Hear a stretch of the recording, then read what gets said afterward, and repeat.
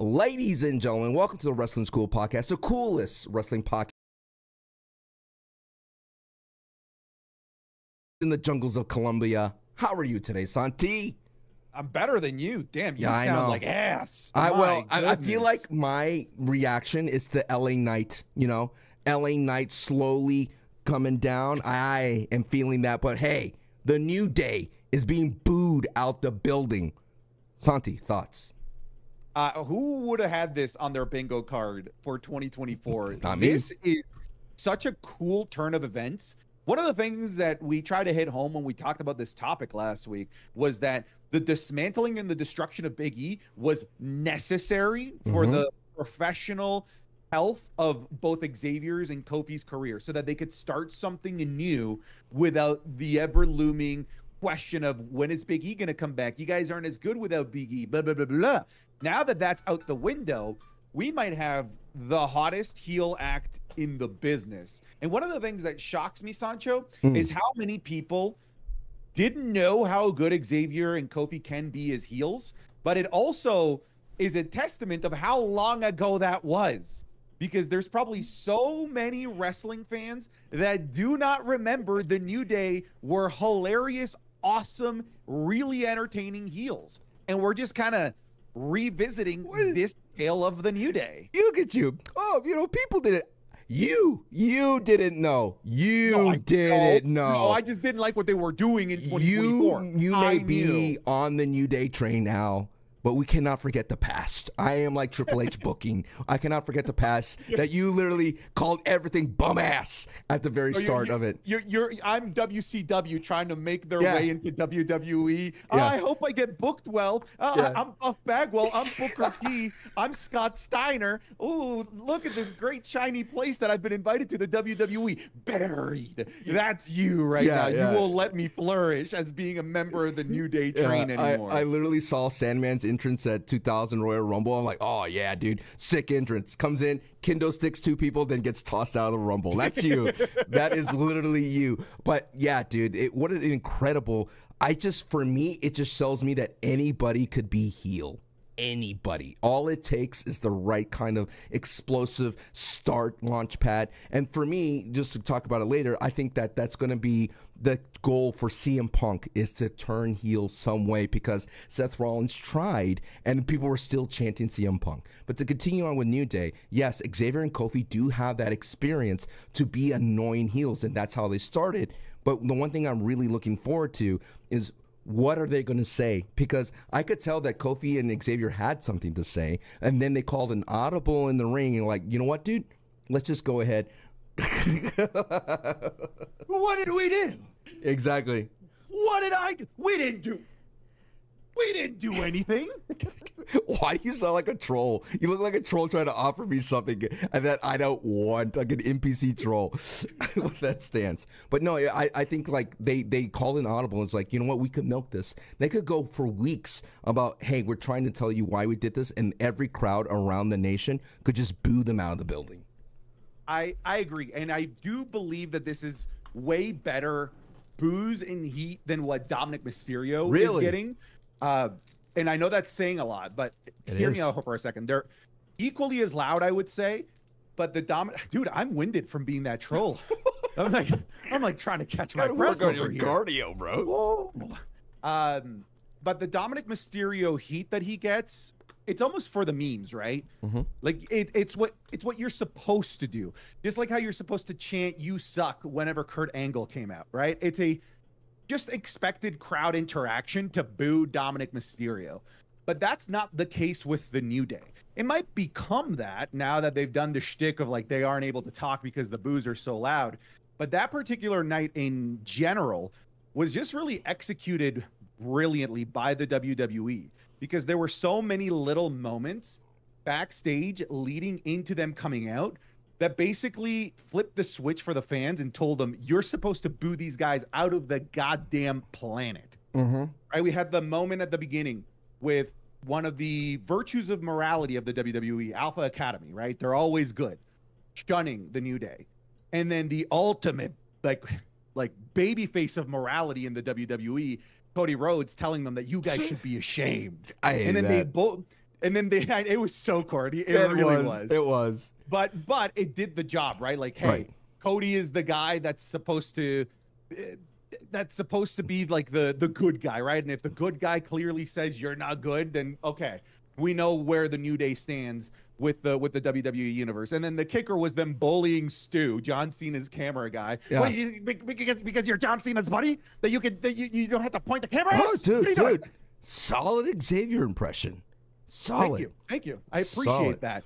It was the same as my troll impression. Why? It's, it's pretty good. It's pretty good. I think it's you were standing there was looked I, like a troll. Yeah. Was it because I was doing like the the, Yeah. the troll mannerisms? Yeah, yeah, yeah, yeah. But, yeah, but I, I think that you're right. They kind of said everybody, hey, you got to boo these guys. But 10 years, and I love the response from New Day.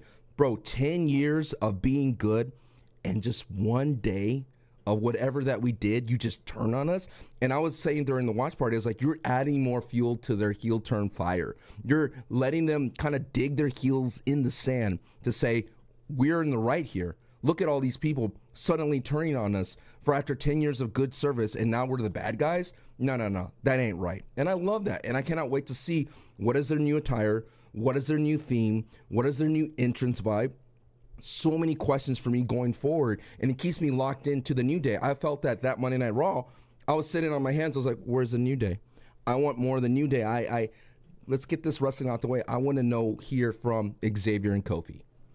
You know, you mentioned like new attire, new entrance theme. I'm glad that they didn't come out with that like on this episode because it would be really easy to just follow the wrestling trope of scarier sounding entrance theme and darker clothes equals you have to boo them. Right. They came out expecting the ovation that they always get, Mm-hmm. and they came out with the same types of clothes that they always have. They came into uh, the arena smiling like they always do, Yeah. but all of a sudden something had changed, and everything changed around them except in their brain.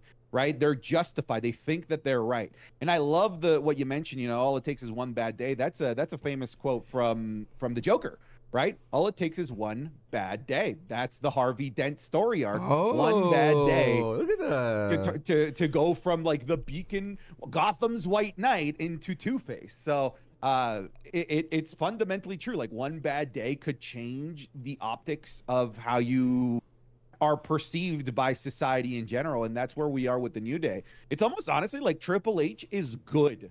There's things that he's bad at, right? Oh, Something he's bad at booking Mr. and Miss Money in the Banks. You suck ass, Triple H. You can't do that.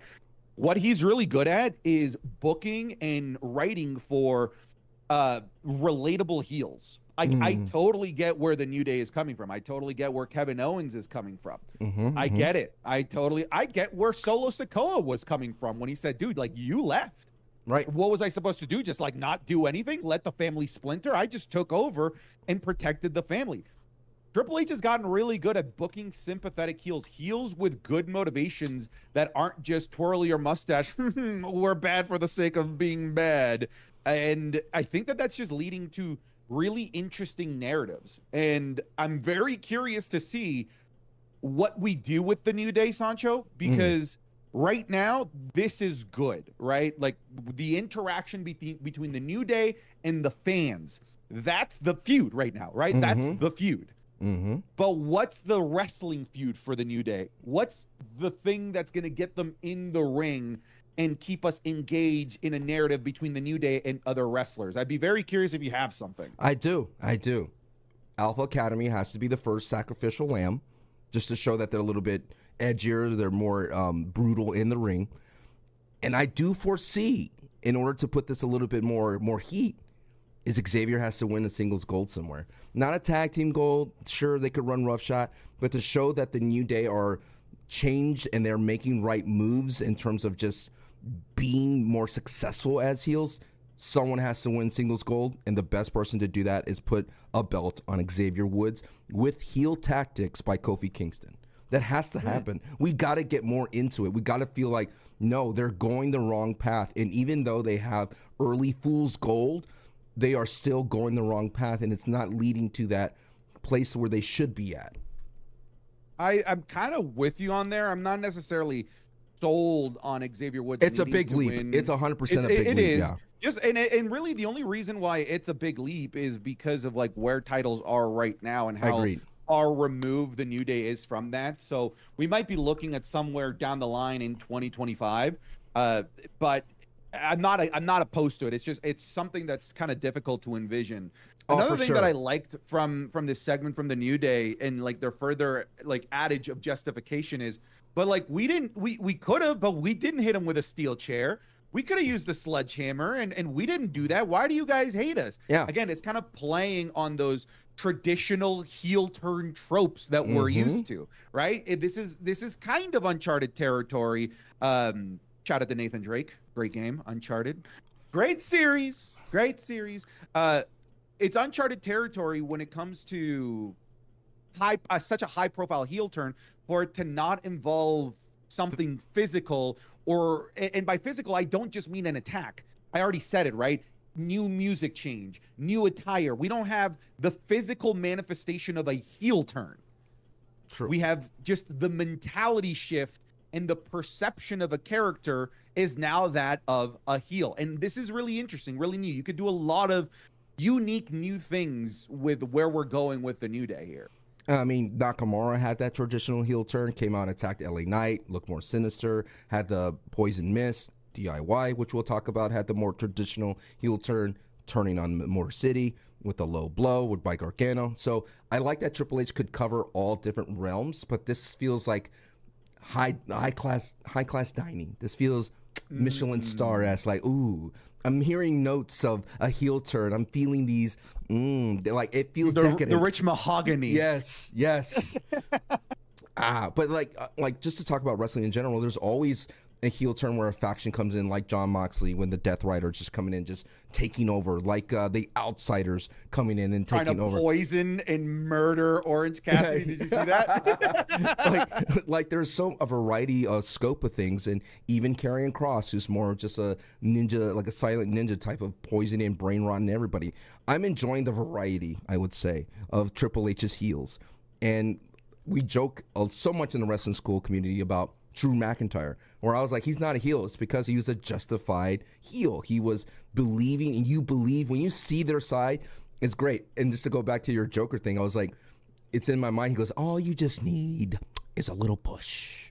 That's all they need. And that was what Karrion was doing.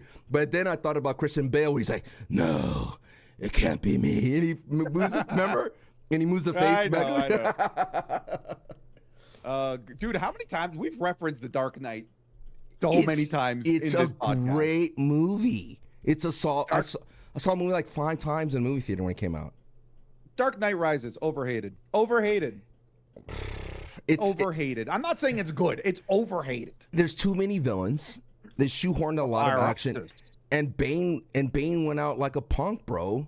He went out like a punk off screen. Come on now. They're expecting one of us in the wreckage, brother. The problem is is that they shoved everything into one movie when it should have been two movies. Because like Mm. Christian Bale gets his back broken, and you're like, oh, that's it. And then he does a Rhea Ripley return. He does. I broke my back. Final. And he does make a Rhea Ripley return. And then Talia al Ghul is a thing. The return of the League of Shadows. It, it was a little bit too much. I, I I'm with you on there. Yeah. Anyways. I kind of want to put like uh, Triple H returns music, like the the sound of Triple H or John Cena coming back to Christian Bale as Batman coming back. Like that, it kind of works. Wrestling's everywhere, brother. What can I say? dude it is uh somebody asked me like okay like what should i get like what should i try to get into if i want to get into wrestling like where should i start and i literally told them cobra kai like you don't you don't have to start with wrestling if you're like if you if you're you know intimidated by how much there is if you can like cobra kai as a show you will just like professional wrestling it, it's it is professional wrestling just in a slightly different uh produced medium wrestling is everywhere as you said So Johnny Lawrence is a justify heel. No wonder he, He hates the Karate Kid Ralph Macchio, dude. He stole his girl, LaRusso. dude he was in the right the entire time uh just like some of the the different heels that we're that we're going to be talking about today because we've got so much more to talk about here in this episode of the wrestling is cool podcast coolest wrestling podcast on the planet. You could of course be listening to the podcast. Wow. The pop hippity You could, of course, be listening to this podcast three days earlier than everywhere else over on Patreon, patreon.com slash SantiZap. Over there, you're going to get the podcast three days early, the Raw reviews, the SmackDown reviews, the Five Wrestling is Cool Match Club watch alongs, the Undertaker Streak watch along, the Royal Rumble watch along. So much content that never gets uploaded on free feeds like YouTube. So come check it out, patreon.com slash SantiZap. $5 doesn't just get you in the door, it gets you all of the content that we produce. The lowest tier gets you everything that we create in terms of content. So come on by. There are different tiers, of course, if you'd like to support us more with additional perks. But if all you want is the content, the $5 tier gets you in. Yes, Sancho. I wanted to say, and we are interactive in the Patreon comments as well. And we kind of threw this out. How much spit or water has Triple H has spit out? And Fight Nerd from Patreon commented, he convinced ChatGPT to estimate this, and he says basically the activity level varied over time. In a given time, he became more prominent figure in 1999. Right? We are trying to figure like he started spitting around this time, and he said ChatGPT has estimated 960 matches between 1999 2010, and then return about 180 matches between 2011 2019. So. Uh, 1,140 matches from 1999 to 2019, right? Estimating the amount of water spit per entrance.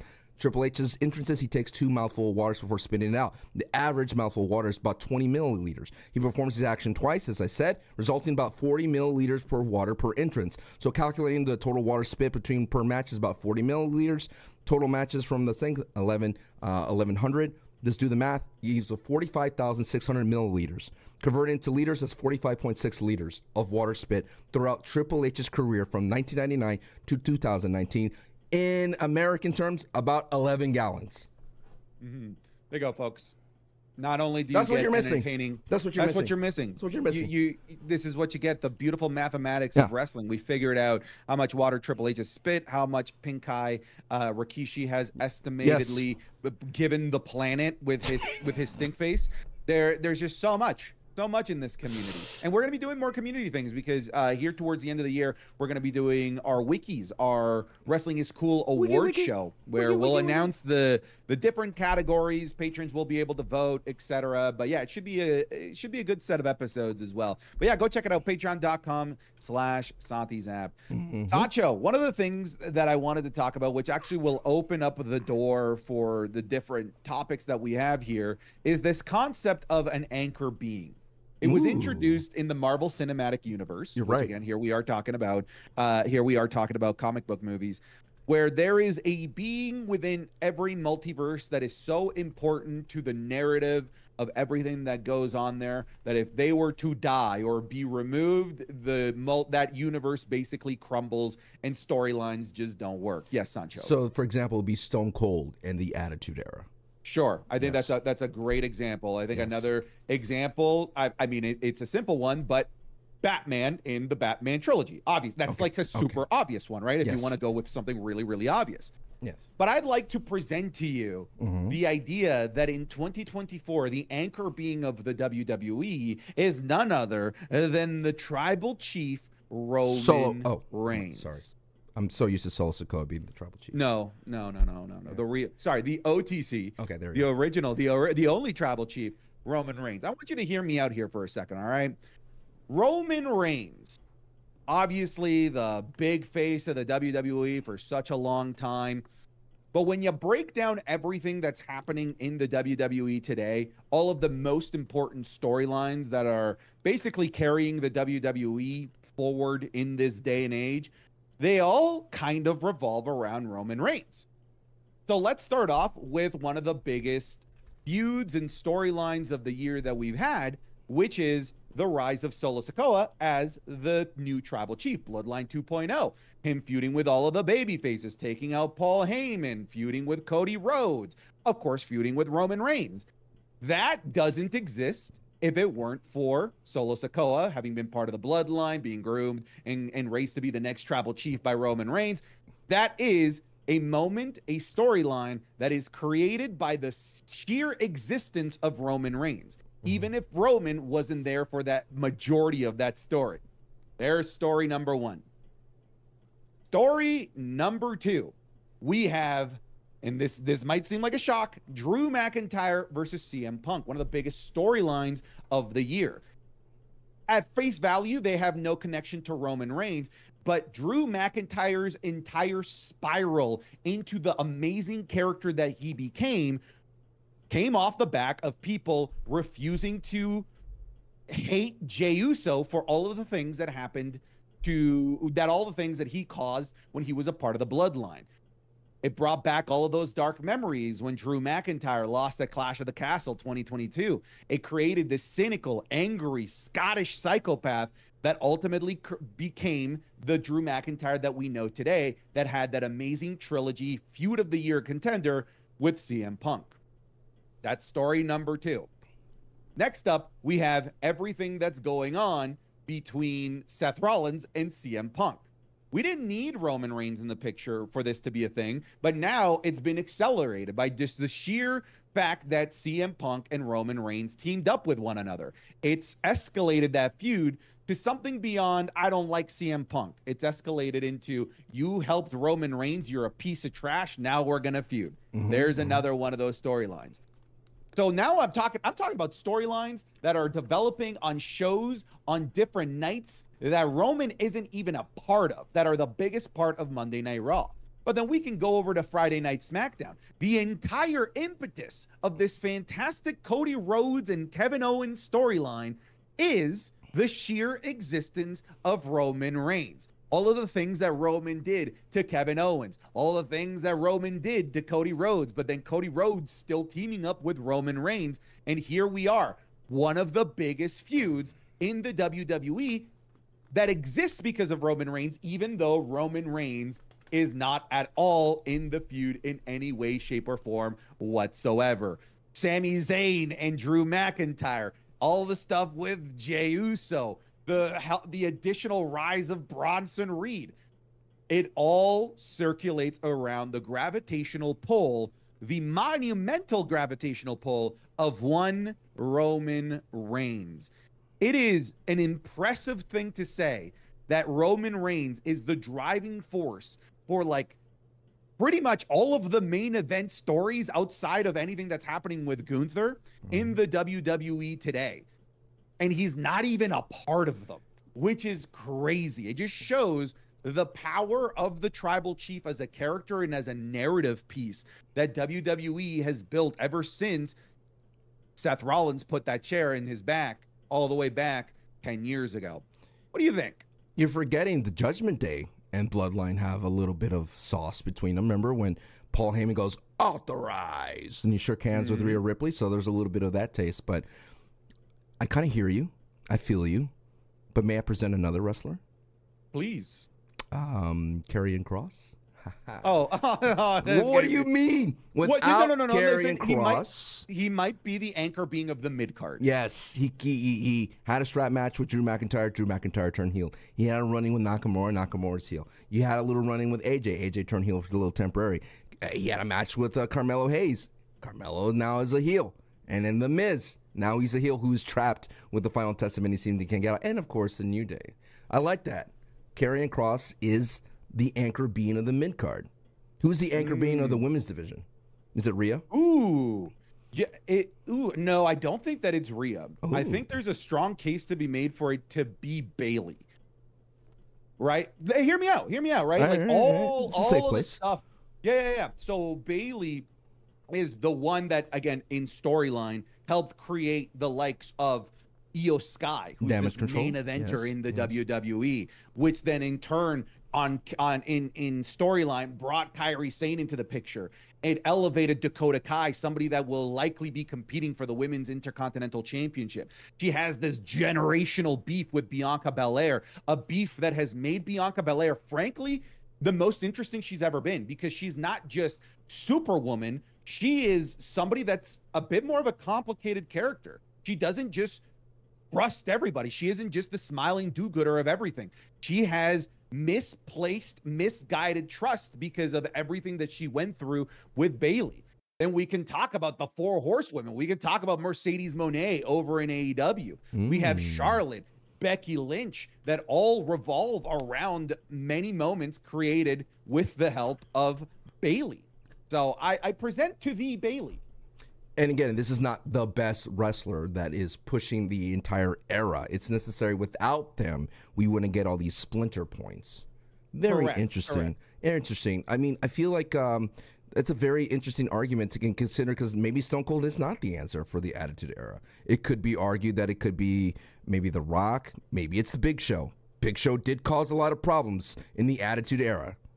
Could Don't- be Bret. It could be could Bret. be Bret. That's true. Without him, we Right. wouldn't have Stone Cold.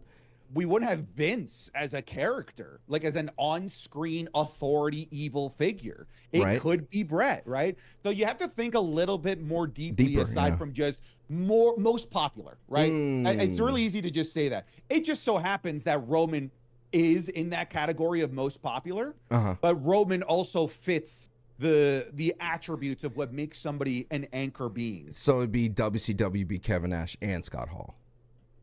I would say so. Yeah, Yeah. you could say Eric Bischoff, maybe if you uh, you, you could. Like, you have to really, really like pe- peel layers and and and this might be a reference that goes over people. It won't over you, and just kind of understand how deep the six degrees of Kevin Bacon goes with the individual. Why do you say that? Is pick. it because I'm older? Yes. Okay. I, am not even. I don't even. I don't even have enough energy to fight it. I'm like, okay. but like that's a term I use, so it's also for my generation, the six degrees of Kevin Bacon. the six degrees of John Cena. Ooh.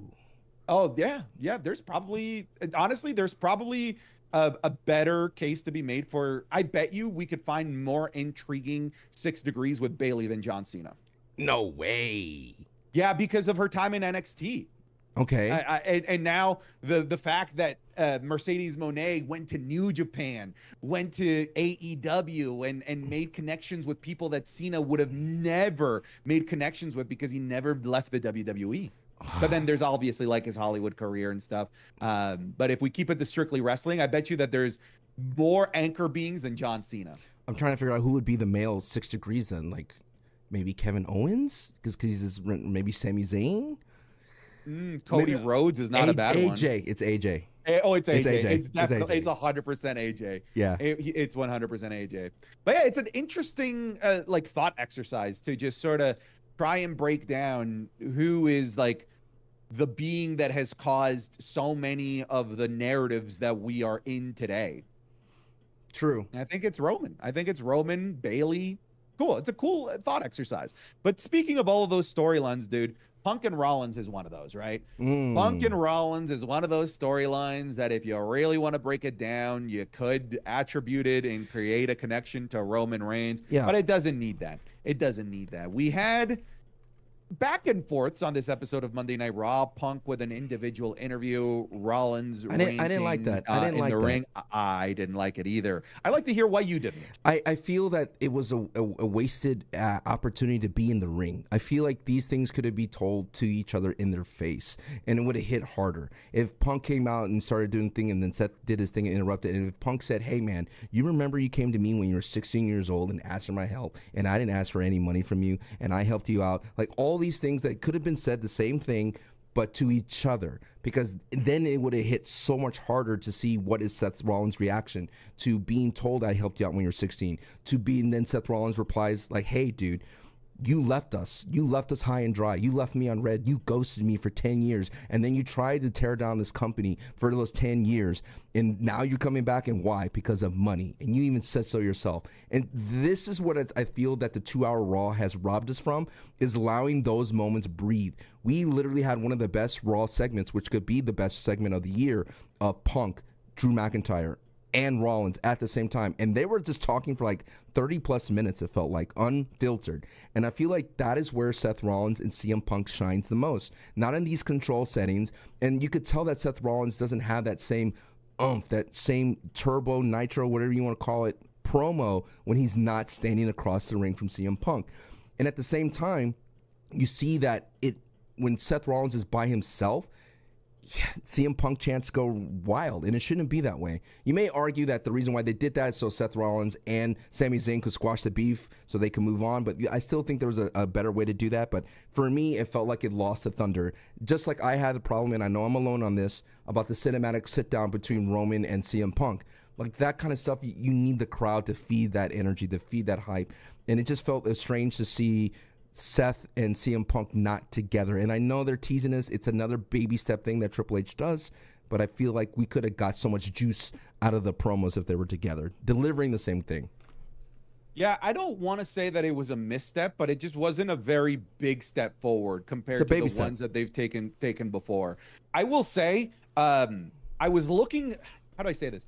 When it comes to the back and forth, if they want to talk about like the past connection with each other, I'm looking more for not what we're getting right now, but I'm looking more for like Punk MJF mm. when they were going back and forth in their promos. MJF talking about how he was CM Punk's biggest fan, went to like the signings, had all the shirts, all of this stuff, right? It felt more personal, and they did that face to face in the ring.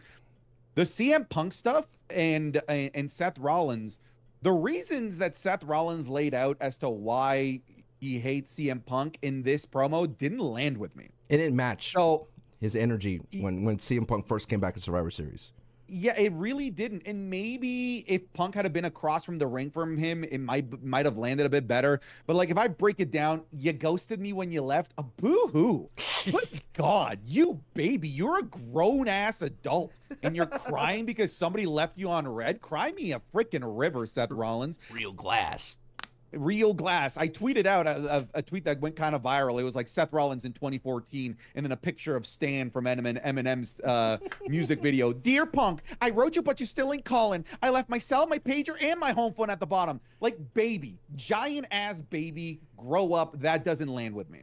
The other thing that doesn't land with me is, and you came back for money. Oh, I'm sorry, Seth. Are you there for charity? Everyone there is working. I mean, I just don't like the demon the the demonization of somebody wanting to do something for money. That doesn't that will never land with me. Patreon. And maybe is because uh, you know, like I've worked hard ass jobs, dude. I want to get paid for what I do. And I'm not gonna demonize CM Punk or anybody because they're doing their job for money. Never do it for free. Yeah. the only thing that like they need to really dig into. And here's the thing, Sancho, they can't. And they can't dig into it. Is all of the negative things that CM Punk said about the WWE when he left. That will actually hit home. And I just don't think that they're willing to go there. Not yet. I don't I don't think they got the balls. Oh, they will. I real I hope so. I hope so because that's that's the juice, right? That's what will catapult this into nuclear levels of heat. But talking about CM Punk leaving him on red and wanting to do this for money, like, bro, I I was there like watching Raw screaming, "Shut up. Do, do, you think? My God. You think they did that so they could relate to the younger audience? Like, oh man, you left them on red, dog. No way. Like that kind of vibe maybe perhaps didn't didn't work because everybody started chanting CM Punk after he listed out all of his grievances. See, but that's it like completely backfired. That's what I think. I think if CM Punk was there, they could have got into the real juice. This was it felt scripted because he wasn't there, and you have to remember, dude. Seth Rollins has literally called CM Punk a cancer, a cancer. He literally said in interviews, "I don't want him back. We don't need him. We're doing just well without him." Before his return, like years later, so like years before, a year or so before his return, so that's the kind of juice. That's what you want. You want the you yes. want the tea. You want the nitty gritty. You want the stuff that shouldn't be said. You want the stuff that CM Punk will have problems with years from now in a podcast. yeah, I hundred percent. Like, dude, think about like when they first faced off. It was gold. Didn't it? Didn't it feel taboo? It felt dirty. Like we like this was wrong. Yeah. That these two were were, were after all of the things that they said about one another separate from one another. Now they're in the ring. It just felt wrong. And because it felt so wrong, oh, Sancho, it felt so right. Yeah. But this felt manufactured and it didn't land with the me. same with CM Punk's interview. It felt, mm, it didn't feel like this is the CM Punk's real grievances, you know? Didn't mm-hmm. really feel real. It's that's the thing. I, I feel like sometimes WWE tends to meddle too much into things. Just let let the thing go, man. Let them see where they go and and beat off of that. That's what made Drew, Punk, and Rollins so good. It's like they let them go. They toed the line. You, you remember he was the one wanted to talk about Vince. They told that yeah. line. Say his name. Say go his ahead. Name. Go ahead. So th- I think that is where we're. I think um, it's a holding pattern. We're waiting.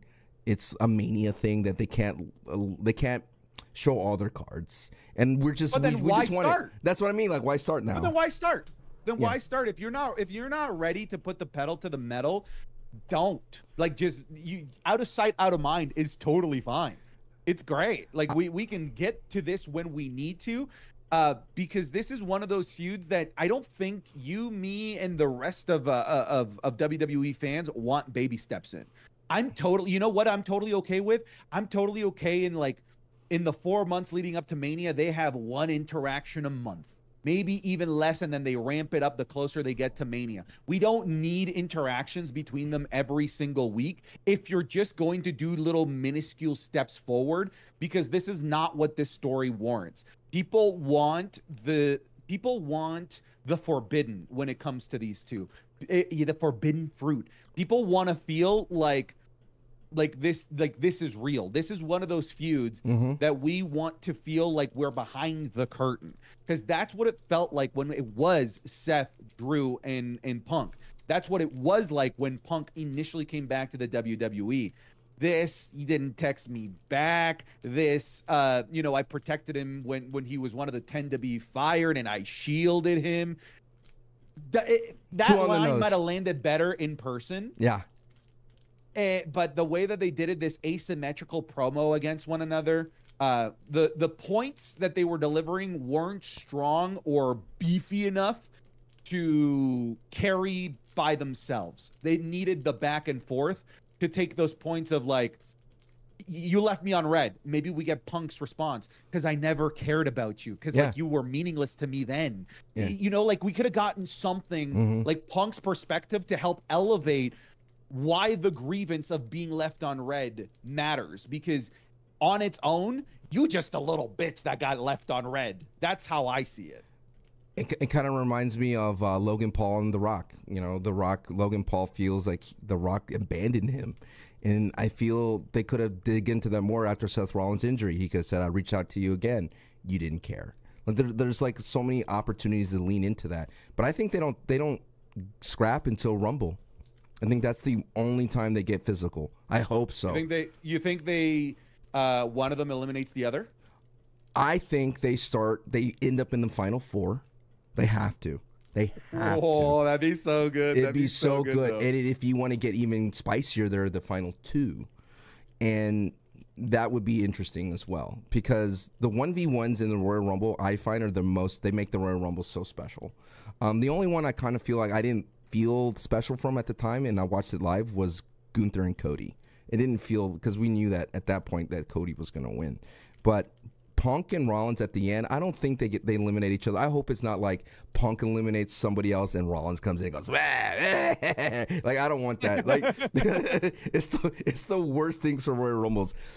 The best the best should go toe to toe like Taker and Shawn, man. Taker and Shawn, which it's just on the top of mind because I just watched it for Royal Rumble review on Patreon. Taker and Shawn going out in 2007, just chills, man just so good. Shawn Michaels in San Antonio, Texas, going for his third Royal Rumble win against the dead man. Like, come on, man. I'm getting goosebumps. I'm getting hyped thinking about it. It was a tremendous thing, and I think Seth Rollins and Punk could be that again. And it should be the catalyst to get them into Mania at the what happened in Royal Rumble. I'm yeah, I'm, I'm I'm with you. I think you and I are on on the same page here. Mm-hmm. Uh, the the segment was too much of a tippy toe forward. Maybe it's just too early to start doing this, but eventually we know, right? We know that this is going to be amazing. I just would like for them to uh to hit on those points that feel wrong in the best types of ways. Uh, but that's what I mean. It- Ooh. you need to hit those points so CM Punk is the heel in this fight. Seth Rollins needs to be the face. He's represented WWE essentially. Mm, mm, But maybe we're looking at somebody that is so right that they turn heel because we've seen Triple H be really good at booking those people, right? Maybe we end up getting that with Seth Rollins. He's so right and no one else sees how right he is that he's the one that turns heel. And Look, not every he tried heel really be that way. Uh, yeah and look every like Seth Rollins tried to get the to get the crowd on his side and it, It it failed. work Yeah. it failed miserably. And unfortunately for Seth Rollins, even though I agree he should be the babyface, CM Punk could punt a bunch of babies and people would chant CM No, Punk. not if not if the, he be just becomes too political in the WWE game. If he Yes, if he leans into like getting Triple H and get like again, Paul Heyman is that catalyst. The favor. What is the favor? Oh, he schemes his way to the main event. He I finds agree. a trick. He cheats out. Remember how upset we were when The Rock came out and took Cody's spot at the Rumble? 100%. It needs that level of thievery from Punk to for us to hate him. Like, how dare you, sir, hurt the sacrilegious or the sacrilegious Royal Rumble spot for the Mania? It needs that level. I, I agree. I agree. The thing is, is that what Seth Rollins is doing is Punk is mean. He's a bad dude. And he and everybody collectively is like, yeah, that's why we liked him in the first place. Pointing those things out isn't going to get the crowd to turn on him. But mm-hmm. like you said, a more political punk, a punk that's willing to take more than his fair share, mm-hmm. that could actually be a fair catalyst. I I, I don't hate it. I don't hate the idea of Punk being being the heel, but it's not gonna work with what they're doing with Rollins right now. If Punk is a bad dude, Do you think Punk wears a suit?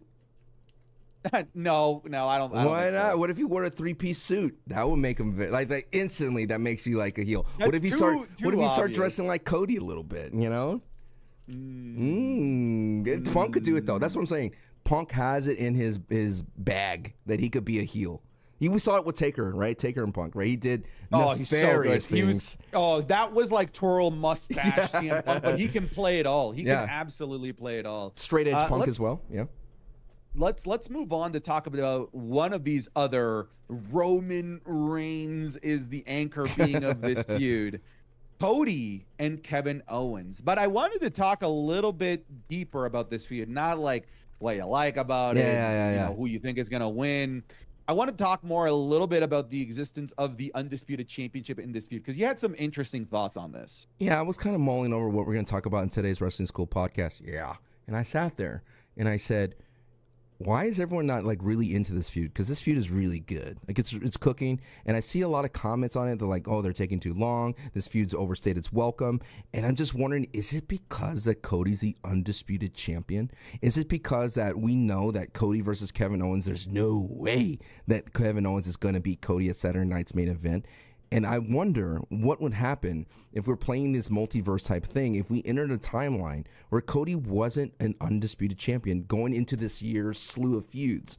Like, think about the catalog of matches that Cody has had, and imagine if he wasn't a champion during the thing.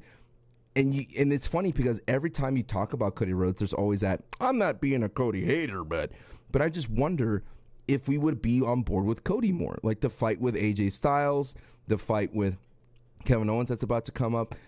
I just wonder that, dude. Like, is it is it the undisputed problem of having it and not being Roman Reigns that everyone's just seemingly not into Cody Rhodes as high as they should be? Perhaps. I want you to think of Roman Reigns' matches and feuds after WrestleMania 39. Okay. Right? The feud with Jey Uso, the feud with LA Knight, the Yeah. feud with AJ Styles, Randy Orton uh, at the Rumble, all of those matches that he had for the Undisputed Championship. The problem was, even though you were excited to see those two in the ring, the problem was the title. That no way Roman Reigns was going to lose this before Cody, he gets to yeah. WrestleMania 40. It was Mhm. kind of like a foregone conclusion that, as interesting and as entertaining as the feud could be, we knew that one thing was for certain, which Mhm. was Roman retaining, and that certainty kind of dampened whatever narratives they were telling leading into the match. And I feel like that's what's happening here because well, at least I feel that there's no way that Cody Rhodes is losing the undisputed championship in this match. No way whatsoever.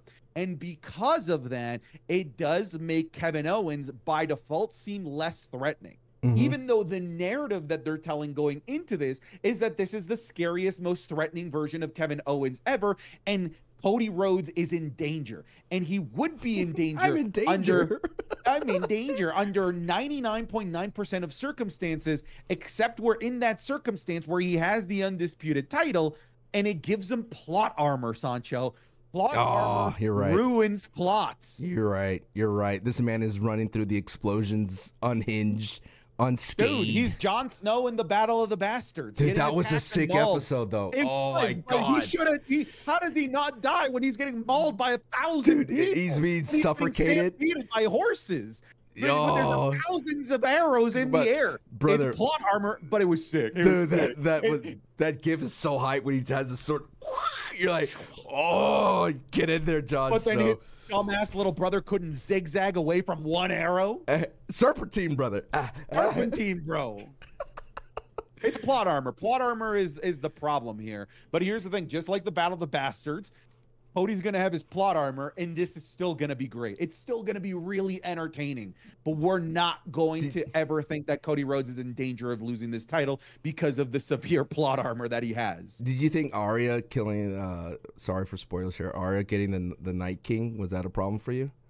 Uh, It was hugely problematic for me, dude. Uh, I don't think I've ever shared this with you. No. I, there there are two things that I'm like incredibly geeky Oh, about. no, no, yeah, yeah, yeah. You have Game of Thrones. Oh, you do yeah, know. Yeah, yeah, okay. of Uh. Game of Thrones, The World of Ice and Fire is like right beside wrestling. I can talk about I can have a different podcast about the World of Ice and Fire. Arya killing the Night King is stupid. It was ass. It makes no sense whatsoever at all. What's the equivalent of WWE's version of that? Oh, dude, if Arya killing the Night King, dude, it. I think it would have been. Oh man, I'm trying to. I I, I can't think Look. of something recent because booking has actually been pretty good. Is it? Is But- it? Um. Oh, you know, think on that. Let's let's let you. Yeah, yeah, yeah. We're gonna have to think on that because that's a good question. Just the wrong person being the one to finish the story. I, like honestly, dude, it's it's like if instead of Cody at WrestleMania 40, it had It would have been been LA Knight. LA Knight beating That's Roman. sure. LA Knight, be- LA Knight beating Roman Reigns at WrestleMania 40. It would have been at that, Crown Jewel. Where, at Crown Jewel. where like where the where the hardcore and the people that know would have been like, what the hell? That makes no no why? But then you would have had the bum ass Arya Stark fans, LA Knight fans, being like, that was amazing. Yes. But it, it wouldn't have made any sense. You're right. You're right. It would have been LA Knight. oh man, yeah, but man, things are bad, man. Things are bad for us here. Can we take a detour real quick, LA Knight? Sure. We can talk about uh, the the the left ruins of the of the glaze factory. Um, right now there is a still a sale here at the Spirit Halloween for outrageous sweaters, twenty five percent off because the Glaze Factory has become the Spirit Halloween. Actually, we have a snooping season. Snoop on the Stoop is a hood tradition you could uh, purchase now at the Glaze Factory, and you can, you know, it doesn't stop there. And even though Halloween is over, we do have holiday costumes here at the Glaze Factory, and um, why do they do this? Who hates LA Knight? Who? Who hates Dude, him? It's the and this will be a different topic, but we can kind of mix them. It's the transfer portal. LA Knight's out of there. LA Knight is out of out of Friday Night SmackDown. Who hates him? Why feed him to the bloodline? Why They fed it- everyone to the bloodline. Oh, Yeah. except Nakamura. He looked scary as hell. It's just like, oh god, oh, don't mess with that guy. Yeah, but why? Because Jacob Fatu eats poison mist for breakfast, bro. That dude would dips the poison mist in nuggies, and you're like, "Mm, mm, mm, mm mm, mm, mm." Jacob Fatu's not afraid of poison mist. But um, just like yeah, LA Knight lost his plot armor. That's what it is. He completely lost his plot armor. He had it kind of, sort of, making his run to the United States title, uh, especially against Logan Paul. But he doesn't have it anymore. And I think I, I to bring it back to Cody. I feel like Cody the plot armor is so strong, but it's because of that Rock promo. Kind of just put that plot armor on him because then we're like, ooh, The Rock wants it, but you could argue that The Rock saying it doesn't matter if you have this or you don't. I want you, Cody. One like that's the one thing that's maybe the saving grace, but I think it's as well as your booking armor. Can we have that term as well? Booking armor. What is the Let's- uh, definition what is of is that? booking armor? that there's bigger, better matches for Cody Rhodes down the road to possibly lose the belt than to Kevin Owens. And that person is Randy Orton. Randy Orton taking the belt because your boy John Cena is right around the corner. So those are the booking armor that we need to get to because ultimately I think that WWE wants to sell us the fact that this is John Cena's last run, and John Cena's last run to possibly break the record, and to see him again as a, a champion. They, dude? They keep calling Cody Rhodes' run the John Cena schedule. Who a better person to give it to one last time than John Cena to run the John Cena schedule? So that's the booking armor that we may be feeling, but would it be an Arya Stark situation if Kevin Owens does it? Yes. Yeah, it would be. It, it's not the right person. It'd be neat. It's interesting at the very least, but it he makes sense as the one that could beat Cody. It's the title that ruins. That's what I'm saying. The undisputed, the undisputed title is a problem, and I am not. It's not being a Cody hater. It's just so interesting that people have this shroud of this undisputed title that has sullied every single thing that he's done this year. Like no one's gonna give yeah. him his dues, his flowers, because he's been the undisputed champion. Every match that he's almost had, AJ versus Cody Rhodes is up there for match of the year. But because he was the undisputed champion, people don't hold it that high.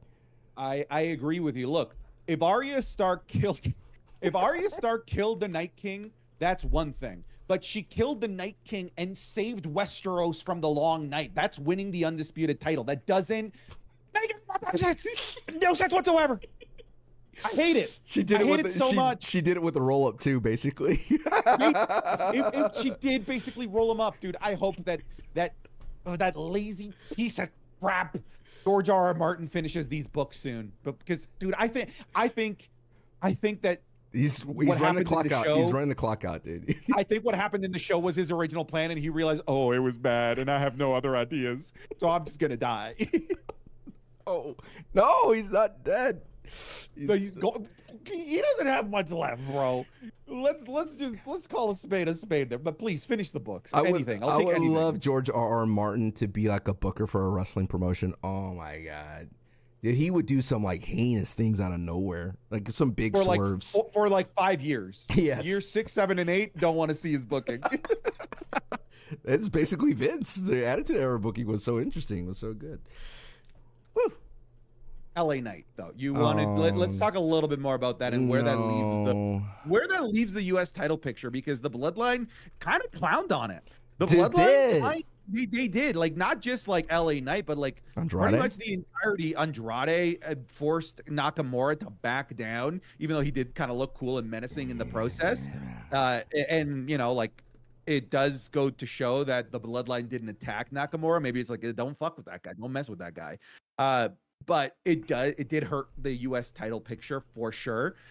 The only way that I could see it not hurting the U.S. title picture is if Tama Tonga or uh, uh, or Jacob Fatu enter the U.S. title picture, right? Just like how the bloodline, the blood, the new bloodline was kind of always in the tag team division. They can't do that anymore. They mm. lost the infamous Tonga Loa to the like so many injuries that happened at War Games. Maybe instead of being part of the tag team division and the main event scene, maybe what they do is the US title picture and the main event scene, kind of run two divisions at the same time, like they did when they were doing the tag team division and the main event scene. If that's the case, that's interesting.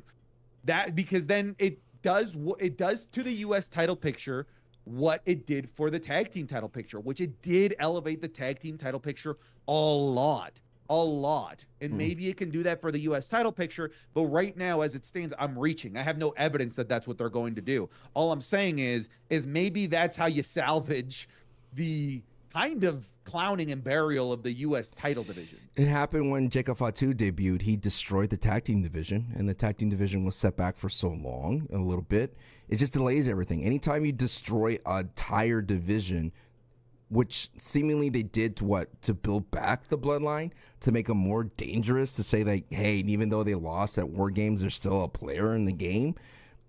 It didn't work for me because Andrade worked so hard to get to a certain solid place and then he got a setback with LA Knight stopping game 7 the only person that still looks kind of decent is Carmelo but Carmelo's a heel and the mid card is already lacking and where the hell is Giovanni Vinci? I told you when Giovanni Vinci got clowned out that he's done. That's it. They had a chance. Imagine if Giovanni was running around. At least he'd be more fodder for the bloodline, and it would be okay to feed him uh, that. But to feed LA Knight, I'm hoping that LA Knight comes to Raw as a heel because LA Knight could has a lot of discrepancies that he could kind of lean on, and he could be like, "I'm mad at at Nick Aldis."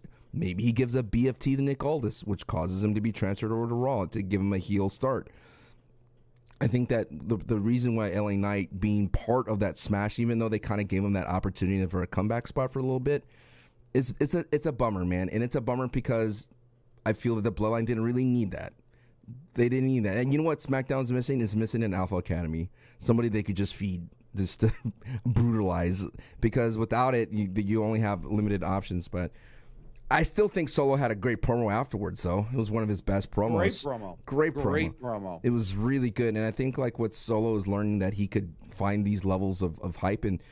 And I love that. Uh, yeah, his voice cracked when he said "tribal chief," but he's losing it. He's kind of spiraling out of control, and I think that that is what you need for Solo Sikoa. But it should not have been at the sacrifice of LA Knight, because it, we're now we're a Spirit Halloween. We're a Spirit Halloween, the Glaze Factory. It's a sad time, you know.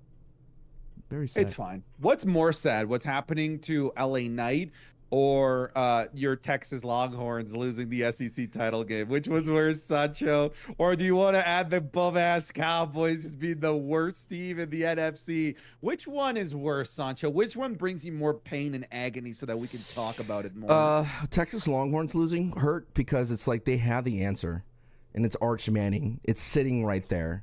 Quinn Ewers, all the respect for you. I can never be a quarterback, but brother, you are not making throws. You're not throwing downfield. We have the fastest receiver in the SEC. We got some great wideouts, a great tight end and Gunnar. For the love of God, put in Arch Manning. He has mobility, he has size, and he has a he has he can throw the deep ball. So it's Texas because Dallas. there's, no, there's nothing we could do to fix that situation, brother. We are losing as the Simpsons. They homerfied Dak, who's a better quarterback apparently than Dak Prescott. That happens. And then what did you ask me? Oh, LA Knight. Oh, he's on the transfer portal. So there's like there's there's like a clear line of sight for LA Knight, so that's fine. But Texas Longhorns, brother, the answer's right there. It's Arch Manning. He's the future. Put him in for the love of God. Speaking of quarterbacks like Arch Manning, Yes. uh, Jimmy Uso broke his toe. The infamous Tonga Loa tore his bicep. And uh, Bronson Reed snapped his ankle in half. I can't believe broke his foot. WWE showed that in slow mo. Good lord, I I, per, I didn't like that. I don't like seeing injuries, and the fact that that that they like zoomed into it and like basically glorified The how Mortal silly Kombat- putty his ankle turned. Oh, I hated it. I Mortal- hated it. What, My yeah. question to you, Yes. Sancho, is uh, could this lead to the sunsetting of war games? I hope so. Or just use it for when you need to, or just don't have people jump off the top of the cage. I mean, we see that. I know it's a great spot. We wanted it, but even Adam Copeland jumping off the top of the cage Yep. resulted in the same thing. There's just so many things I feel that wrestling doesn't need to do anymore because we still get great like entertainment without that. I mean, Rikishi jumping off the Hell in the Cell, what was that for, right? And even Rikishi kind of felt kind of feel like he needed to do it just to have that moment, and it's cool to have mankind getting thrown off the cage. I mean, we see a limitation of headshots these days. It just it, it doesn't need to happen, and I feel that it is it's one of those high risk high rewards. The same thing with Charlotte Flair doing her moonsault to the outside. We're not going to see that anymore. Um, I just feel like War Games is should be treated like Hell in the Cell now. It's just like whenever a feud really needs, and we talked about in the last podcast. But it's now the evidence is here, right? It's been presented. One of the things I did enjoy though was the sports style presentation. Of like, hey, these guys got hurt. It is legit. These are the type of things that they do to put their bodies on the line. And I like that they treated them like, hey, they're going to be out a couple of months. We're not going to see them for a while, which makes the return of every single one viable, and that means Bronson's out of the Rumble. I think Tonga Loa's out of the Rumble, that's for sure, and Jimmy's out of the Rumble. Maybe Jimmy can make a comeback with a broken toe, but it's a bummer, man. There's just so much talent, and who's to say the women are not banged up too? I mean, they kind of had their their little hit ribs and things of that sort, but even the women's division, they, they could have suffered so much so much injury, especially with that moonsault off the trash can. Like, jeez, so much the crazy way, spots. it, it, it would have been like I would have been like angry uh, if there were injuries in the women's side because I felt like this didn't even need to be in war games in Mhm. the first place, right? Like if it didn't warrant being in a dangerous match, let's not put them in a dangerous environment. I did feel like Bloodline versus versus Bloodline and CM Punk.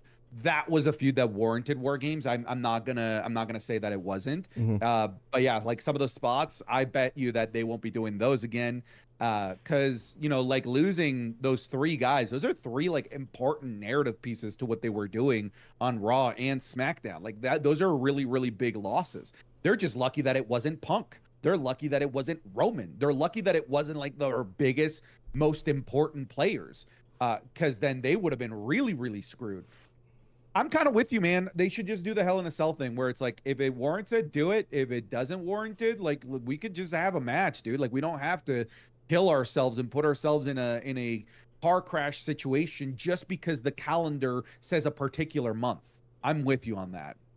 But to sunset war games in general, we can I'd say we can sunset the the yearly release, the Assassin's Creedification Madden, the of, of COD, war games. the COD. Yeah, we can. We don't. Yeah, we don't have to do Call of Duty like yearly releases every November. It, that actually works because COD's every November, like War Games. We don't have to do that. We could just do it when when it warrants it. Uh, Ancho, Yes. we already we you already kind of talked about it at the beginning when we were talking about uh, the new day, the DIY heel turn. Mm. I called this Oh, yeah? so well, dude. I made a video uh, about a week before. Uh, I, I do this monthly video series in case you, you you don't watch the YouTube videos, where I talk about who is going to dethrone every single current active champion in the WWE. It's a monthly series that I do at the start of every single month. And I wish I could play the clip for you, Sancho. I said that the that Motor City Machine Guns, Raging Piss, will be dethroned by DIY because DIY will turn heel and Johnny Gargano will play the wolf in sheep's clothing as he's befriending the Motor City Machine Guns and he's going to use that closeness with the Motor City Machine Guns to turn heel on them and help DIY win the tag titles. And I said it because we've never seen a proper heel DIY, but we've seen Gargano versus Ciampa so much already. Mhm. And I hope that they do revisit that. That's one of Triple H's greatest hits, but we didn't need it right now. Mm. And we also did not need a tag team splitting up on SmackDown No. because of the injury of Tonga Loa. That removes the bloodline from the tag team division, as we've already spoken about. That leaves a major power vacuum as the like who's the top heel tag team on SmackDown? Can't really be A Town Down Under. They're nowhere to be found. The they can't be pretty deadly. So somebody had to step up. I don't think that DIY is on the level of the bloodline by any means, but the heel turn had definitely helped elevate them as the top heel team on SmackDown. Timeout. Do we really think Tonga Loa is hurt? Like, do you think that he's hurt? Okay, so it's so funny because all of the the the replays that they show, it's like, yeah, Jimmy went toe Right. first. Yeah. Yeah, dude, Bronson Reed snapped his ankle in half, and then they're like, and then Tonga Loa, he's just getting beat with the toolbox, and I'm that saying. somehow tore his That, bicep. that's what They're- I'm saying, dude. Because you know who's around the corner. I don't think the bloodline are out, dude. Hikuleo, dude. He could be the they- one that filled Okay. in because he said. I mean, Solo Sikoa's like just because I lost two soldiers doesn't mean I'm out. I'm not done. I'm still here. I think this is a great way to introduce another member of the bloodline to substitute. And what a better person to put on the bench than Tonga Loa for a little bit and have him run with Tama Tonga, dude. Like, they would work really well together. And I, it's it's so odd to me that it's it's not buyer's remorse because I think Tonga Loa does have value, but it kind of feels that way if they benched him. Does he? Does he?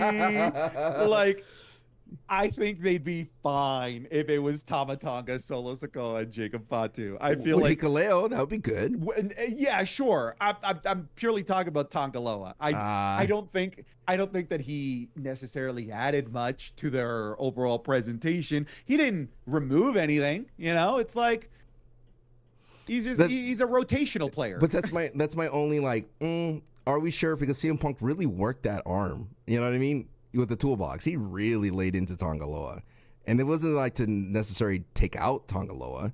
I think it was just to set up this situation that there's someone gone. I don't think they expected to, to lose Bronson Reed and, and other people, but I'm just interested because they already kind of did this Jacob Fatu hurt his knee, their nerfing type of thing. But I don't know, man. I feel like the bloodline is has to get more soldiers into the. they're into the they're, they're gonna nerf Tonga Loa. He's just too powerful. He's just gonna come He out kinda- now. one looked- eye, one arm. he looked he just looked too clean in that bicep thing and i and i know dude this is wrestling and it could be true but sometimes when they mix in like real stuff with like a work, you kind of gotta go, hmm, something doesn't. But here's the thing: something we we here. we thought the AJ Styles thing was a was a work because they showed like they they, they did kind of like the traditional wrestling angle of it, right. But then it ended up being real. So I don't know anymore. I don't know anymore, man. But what I do know is Gargano's a heel, and Gargano with I think this is fun for Gargano because it allows him to exercise new muscles that he hasn't exercised in a while. And it's funny that him, and Candice LeRae, are both heels, and they both love bluey characters and Bandit and Chili. Do you understand how bad it is to love bluey characters and yet be heels? Do you feel this anger that's coming out of me right now as someone that avidly watches Bluey? Do you know what Bluey is, sir? It's one of the Is it- best Australian cartoons that has taken over the world on Disney Plus. Do you understand the love that I have for Bandit Chili, Bluey, and Bingo? And they're the most beloved characters and the by far has instantly shot up to the number one cartoon of all time that teaches kids how to be great, great children. At the same time, teaches parents to always Great cherish- children. to always, always and cherish these moments because once these kids grow up, they're gone, brother. And to have Gargano, who wore bandit trunks, to have uh, good old Candice LeRae, who wore chili trunks, be bad guys in the WWE breaks my heart, sir. Breaks my heart. Is is this your Arya Stark killing the Night King? Oh, absolutely. Just spend eight minutes watching a Bluey episode on Disney Plus, not sponsored, and you would realize how sad it is to see this happen. This travesty. I feel like Stephen A. Smith. You know how he's like, "This is outrageous. This is a travesty beyond." Mm, so, what did you think of the heel turn though? Did you I like liked it. I Did liked it. I liked like it. I liked it because it, it was needed. Uh, the SmackDown Mm-hmm. Tag Team Division needed a little shakeup, and Motor City Machine Guns need their Joker. They need their rival because Motor City Machine Guns. I said this before on the on my SmackDown reviews because I'm the one who does the reviews, the A show of the Patreon. I said they are very vanilla. These guys are very vanilla. They're good in the ring. They're fun to watch. They're clean in the ring. But boy, they have that baby face kind of attitude when it comes to their promos. Yeah, we'll have that match. Yeah, we're ready. Yeah, yeah. we'll give you that match, no problem. And I get it, dude. That's where their wheelhouse is. And I and I clocked them right. I was like, okay, these are these guys. These are the baby face, super baby face guys. That that that if they have an edge, you're gonna be like, all right, Motor City, you're silly. So. If they could get a different gear out of Motor City with this DIY betrayal, I'm all for it because I do think Motor City needs a little bit of, an edge beyond their really good tag team that we haven't had in the WWE forever. I think that you got to add some some you got to add some sprinkles to that vanilla. You know what I'm saying? A little bit of the Crushins, a little bit of that Oreo. I'm with you. I'm with you. I'm excited for the for the DIY heel run. I hope that Candice is a part of this. I feel like yeah, that'd be more interesting. transfer Uh, portal. I yeah, th- yeah, very true. Uh, this is where I wish they hadn't have pulled the trigger so quickly on Indy Hartwell either. I feel like know. Indy, the Indy, it felt wrong. Indy not being there as part of the celebration of DIY. Could she come back? You never know. I mean, anything is possible. Anything, literally anything is possible. So you you never know. She's she's so young. She's still in her twenties. She has so much left to her career uh, that I'm sure WWE has to Because- like recognize that there's value there in terms of how much time she still has to grow. Mm-hmm. I felt like that was a a a rash decision to release Indy Hartwell. Uh, me personally. Mm. Uh, so let's let's talk about that transfer portal, dude. Can I say something about this? I don't. I, I don't Is think that this this is a hot take. I think it's a safe place. I, I, I think once I explain it, people will agree. Uh, ditch the frickin' draft and just do the transfer portal. We don't need a draft. The transfer portal is so much more interesting. You know how annoying it is to tune in to the WWE draft only for the first eight picks to be guys that are getting picked to go to the show they were already a part of? Great. Thanks for telling me that Seth Rollins is going to Monday Night Raw when he's been on Monday Night Raw for the past four freaking years. It- to me, that is such a such a way to fluff the draft that it's frustrating. I much prefer You don't like when they used to do the draft. Yes, I fluff? much prefer. Yes, yes, yes, yes, Sancho. What what what's that mean? Tell the world. no, Tell us all. I play Fortnite.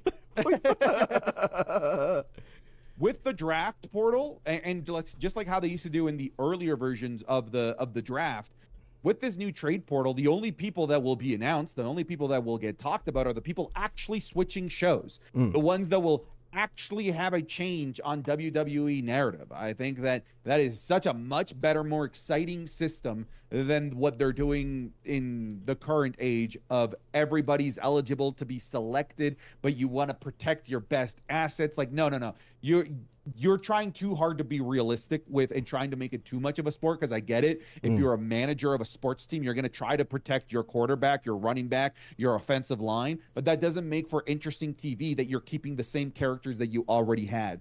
With this trade portal, the only ones that will be talked about, at least I presume, are the ones that will actually switch shows, and that is significantly much better in my opinion. So we're talking about LA Knight, right? It has to be. Has to be. Sure why take the belt off of him? Because I, I got a little worried when Nakamura came out and LA Knight's music kick. I was like, oh no, please let it go. let it go. Let's all move on from this and put him into the Raw because him cutting promos with Gunther is so exciting and it'll be a benefit for everybody. It'll give Gunther a new kind of opponent to go after.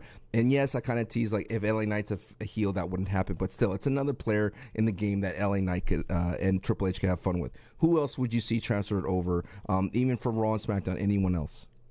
I, I do see Dominik Mysterio stealing the Judgment Day away from Finn Balor and the Judgment Day going to Friday Night SmackDown. They need a change of scenery, and they need it bad. I, I, I I'm I'm tired of the Judgment Day, and that's not a good thing. Uh-huh. And I think part of the reason why I'm tired of the Judgment Day is because we haven't seen them feud with anybody aside from like the same rotation of people over the mm. last like two and a half years.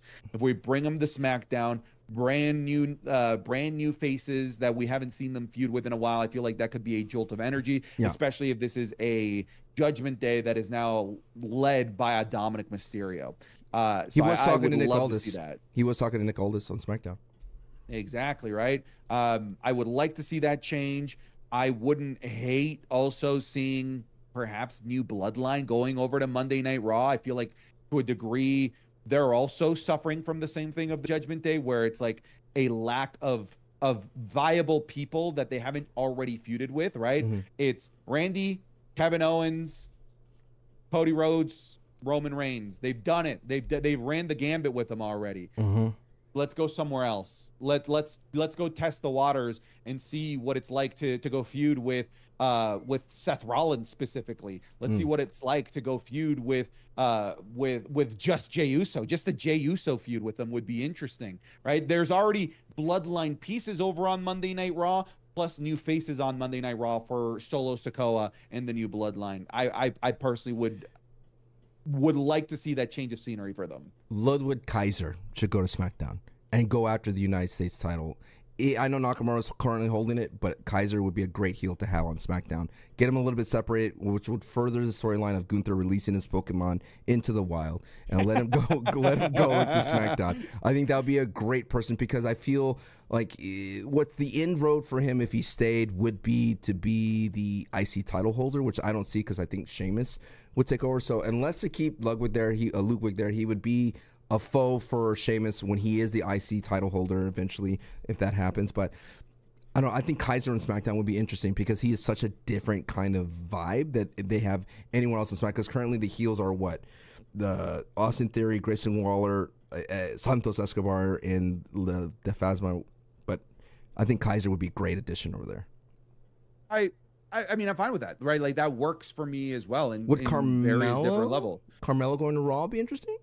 Sure, sure. Why not? Uh, I mean, we've uh, we we can talk about those mid carders as well because we saw uh, what happened when you uh, even just brought the idea of bringing over Chad Gable, right? Brand Ooh. new matchup for him. Yeah, yeah we've yeah. seen Cody versus Chad before as a match, but as a feud, we've never seen that before. That's intriguing, mm. right? I'd be down for that if I'm willing to accept AJ Styles versus Cody Rhodes is a feud where I know AJ Styles isn't going to win the feud. I'm willing to accept and enjoy a feud between Cody Rhodes and American Made, even though I know that Cody Rhodes wouldn't lose the title to them. I'm down for that. It just creates so many interesting scenarios for guys that are just sort of treading water on their respective shows. Hear me out. Santi's is a safe place. Yeah, of course it is. Yes. So imagine Cody's like, hey, I, I you know, he's running on trying to figure out who's gonna be champion, and it is American made music hits again. And what if it's at a PLE and Chad comes out with a shaved head, you would go, "Oh my god!" I go nuts. I you go would nuts. say, "Oh, Cody, you're in trouble, brother." And he comes with that black a black mouthpiece. Oh my oh, god. Yo! I- yeah, you're cooked, brother. You're done. It's you're over. done, dude. It'd be just like when Nakamura came out with his samurai gear. I was like, "Oh, LA Knight, you're done, brother. This guy's looking cool." So that would be the that would be the anti-plot armor. It's like Doomsday all of a sudden showing up. But yeah, I, I wonder. I'm trying to think about the women's division. I think uh, Alba Fyre could do, do a new change of scenery. Sure, Um, Bayley. Done with Bayley on SmackDown. You, she's Yeah. done it all over there. Let's get yeah, a new yeah, scheme. get over there. Um, I think Rhea definitely stays on Raw. That's that's duh. Any main eventer switching. You mentioned the Bloodline, but any other main eventer switching as well. Maybe Randy could go over um, to give him a new taste of scenery because he's been written off TV for a little bit. Uh, maybe I could see I could see that happening. I could see Kevin Owens actually instead of Randy because Kevin Mhm. Owens already kind of called his inevitable shot against the Jey Usos and the Sami Zayns of the Yeah. world, and they're over on Raw. So I could see that happening as a main eventer. Tiffany Stratton, I could see her taking that briefcase over to Monday Night Raw as well to help rejuvenate the women's division as a whole because that's what Raw needs right now. You look at the SmackDown women's division, it is so unfairly stacked when you compare it to Monday Night Raw. Mhm. It's not even funny. So let's bring over uh, Tiffany Stratton, some new blood uh, to to help rejuvenate the frankly struggling women's division of Yeah. Monday Night Raw. I did like when uh, Tiffany Stratton was like, "Hey, Liv, if I cash it on you." Does Dominik come with me? Mm, the forbidden fruit. And Dom just goes, "No, no, I wouldn't do that." Well, at first he smiled. Yeah, I know, and then yeah, he's he's like, like, wait, wait, no, Uh, no, no, no, no. That's not me. I do feel like Car. I, I feel like Carlito needs to change the pace. I feel where I ran thin on the Judgment Day is the moment that all of them are attacking Damian Priest. Magically, Damian Priest could just defeat them all, and it's just so frustrating to watch as someone who knows, who's like re re kind of like watching Carlito's matches when he was at his prime, I would say in the WWE. I'm like, man, this dude deserves a run. And you you hyped him up for me when he came I back. You're like, bro, he's a great addition. He's going to be a great heel when he turns finally heel on LWO. And just hasn't delivered at all. What we could, we all know what Carlito has, and, and I think it started when he added a new Def Rebel theme. I was like, no, no, he doesn't Do even you know spit. what cool is? Do, do, do. Shut up. He, Shut he up. That's doesn't a even spit. He doesn't even spit apples in anyone's face anymore. When's the last time you seen him do that? Oh, dude, honestly, I, I I think it might have been Backlash Puerto Rico. Yes. I like I, I I genuinely can't think of a of a time that he spit in somebody's face because they weren't cool. That's true. I, I, I Mm. dude, that's that's a, that's a fight, bro. If you spit in my face, I'm sorry. That's it's going Yeah. down. It's going down. What if I spit in your face? Can we just move on? Yeah, let's move on. I, I have something to say about out, the of con- Santi out of context. You're welcome. Yeah. You're welcome. You're welcome. Let's. I wanted to talk about the women's intercontinental championship picture. I just want to pull up the tournament bracket here for a second because I, I got a problem with this. But again, it kind of goes to show with um how poor the women's division is on Monday Night Raw. So when I pull up the the tournament bracket, a couple of the matches have already happened, but like when you compare the women that are in this versus the women that are in the United States Championship bracket, let me pull that up as well. U.S. title bracket. Go ahead, pull it up, dude. Don't stop it. Yeah, so I've got I've got both of these up here. The star power like is is so unfair. Like when I list listen listen to some of the names that I can that I can list off on the SmackDown one, right? Okay. Bayley, first ballot Hall of Famer. Candice LeRae at this like single star, right? And separated away from from Indy Hartwell, that's a proper single star. B-Fab, an unknown. That was interesting. All right. Okay. I'm interested to see what they got with B-Fab.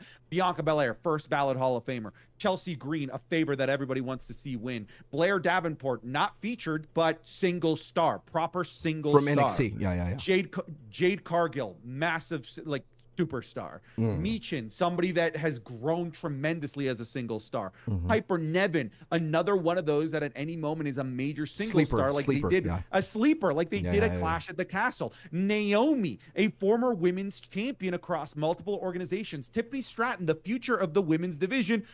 It's your Elektra Lopez. All right, we, we ignore Elektra Lopez, but that is a stacked, stacked division.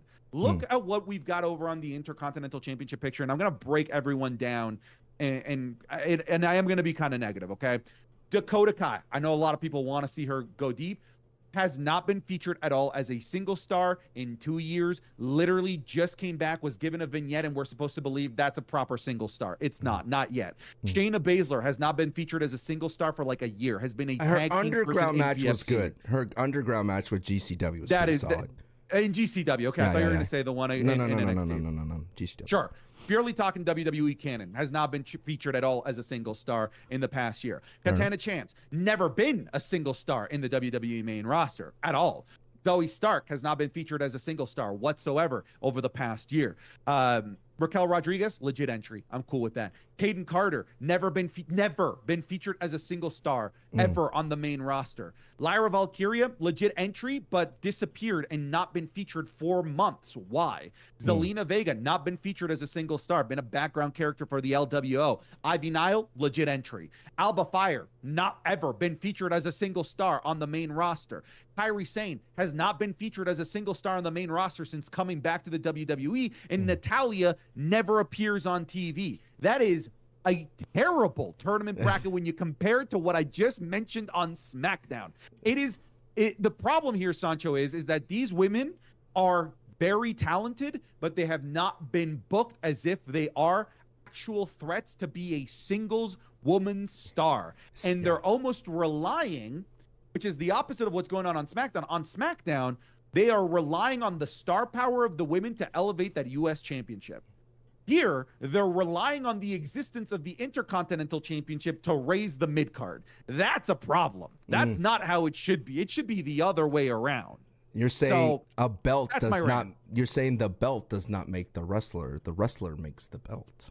Absolutely. And when you look at the tournament on SmackDown, it's very clear that that is the case. Whoever wins that will elevate that belt. Whoever wins this, the belt needs to elevate them. What if it's Natalya?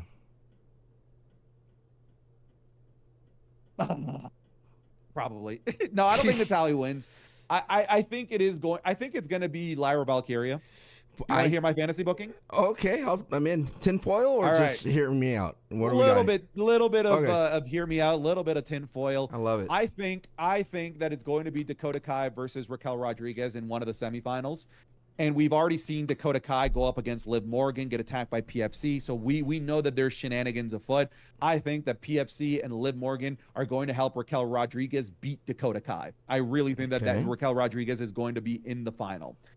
And I think the final is going to be Raquel Rodriguez versus Lyra Valkyria.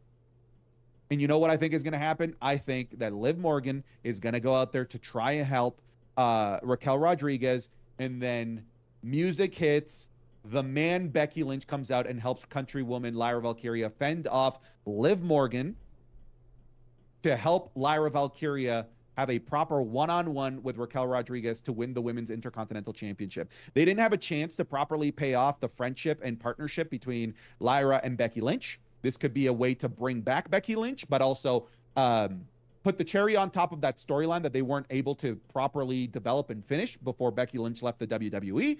It brings us back to Becky Lynch and Liv Morgan, something that kind of turned into a one off match because Becky Lynch left pretty much right after she lost the title to Liv Morgan.